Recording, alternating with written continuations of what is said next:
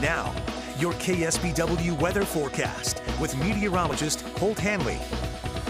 Good morning. Overall, another foggy start to the day. Even had the windshield wipers going earlier this morning with some of that mist and drizzle going on. But this afternoon, a lot of that fog will be clearing out and, and I'd say better than it has been the last couple of days.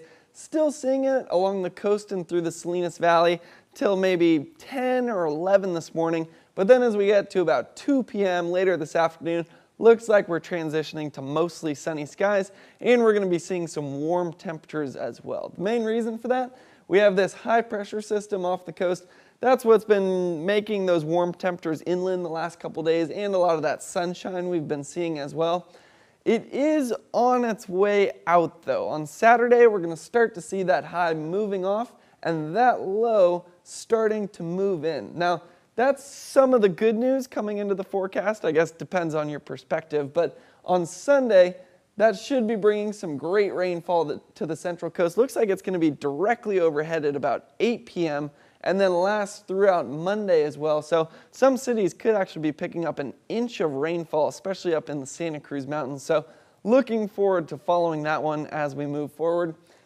As you would expect, as that storm system moves in, it's going to be bringing some cooler temperatures with it. So that ridge that we have right there that's leading to those 20 degree above average temperatures in some parts of the state will be moving out and replacing it will be that blue color which represents those that cooler air and we'll be bringing our average conditions back down to about 60 degrees on Sunday and Monday.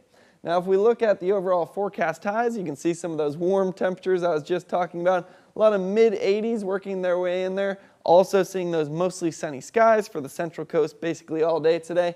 And then you do notice a lot of the temperatures we'll be looking at right here, a couple of degrees cooler than yesterday. So it's the continuation of that cooling trend I was just showing that's actually going to be continuing all the way into Monday but overall hasn't cooled down too much. Still 77 degrees in King City there and a little bit warmer in Monterey today just because of the decreased fog.